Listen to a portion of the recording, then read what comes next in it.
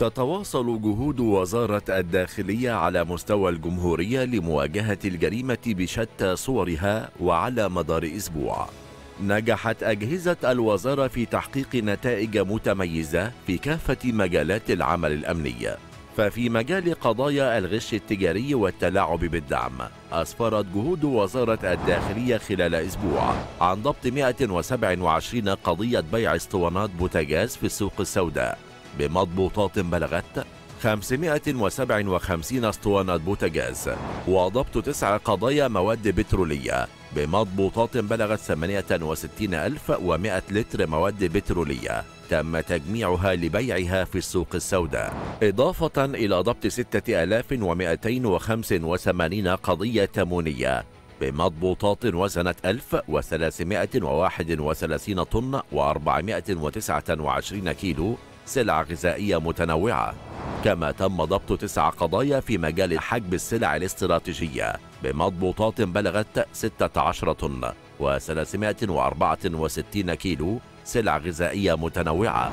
كما تم ضبط 1121 قضية في مجال البيع بأزيد من السعر بمضبوطات بلغت 134 طن و492 كيلو سلع غذائية متنوعة كما تم ضبط 75 قضية استيلاء على الدعم. بمضبوطات بلغت 115 طن و42 كيلو سلع مدعمة متنوعة.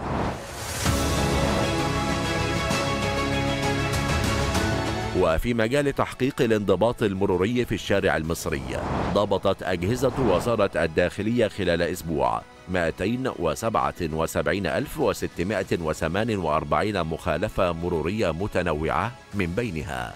64079 مخالفة تجاوز السرعة المقررة. وخلال الحملات المرورية على الطرق تم إجراء تحليل للكشف عن المواد المخدرة لعدد 2153 من قائد المركبات تبين إيجابية عدد 102 سائقا منهم.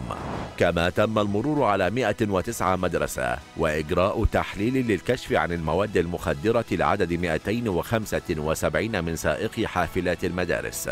وتبين سلبية جميع الحالات.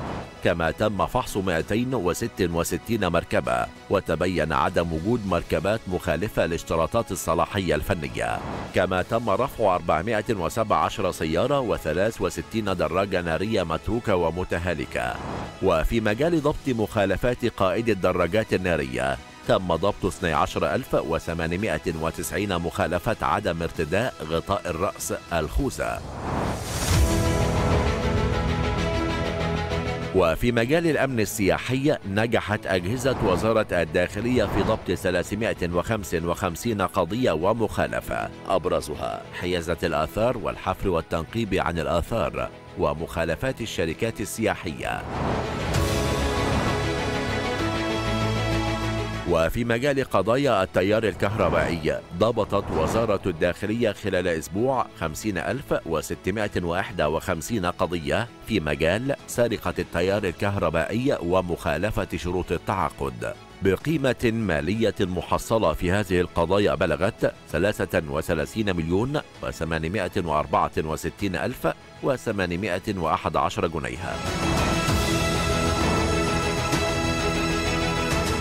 وفي مجال قضايا المصنفات وحماية حقوق الملكية الفكرية ضبطت وزارة الداخلية خلال أسبوع 180 قضية من بينها.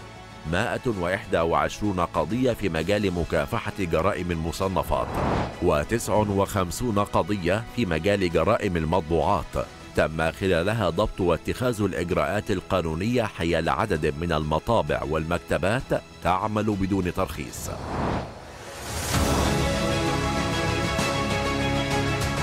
وفي مجال قضايا الأموال العامة ضبطت وزارة الداخلية خلال أسبوع 58 قضية في مجال الأموال العامة. بقيمة مالية بلغت 85 مليون و625 ألف و122 جنيها. وفي مجال قضايا التهرب الضريبي تمكنت أجهزة الوزارة من ضبط 889 قضية في مجال التهرب الضريبي بقيمة مالية بلغت أكثر من مليارين و137 مليون و568 ألف جنيه. قيمة تعاملات مالية مخفاة. لم يقم الممولون باختار مصلحة الضرائب بها وجاري فحصها فنيا بمعرفة المصلحة لاستيداء الضرائب المستحقة عليها. كما بلغت قيمة المبالغ المالية المسددة لصالح الخزانة العامة للدولة أربعة ملايين وتسعمائة وواحد وتسعين ألف وستمائة وستة عشر مليون جنيه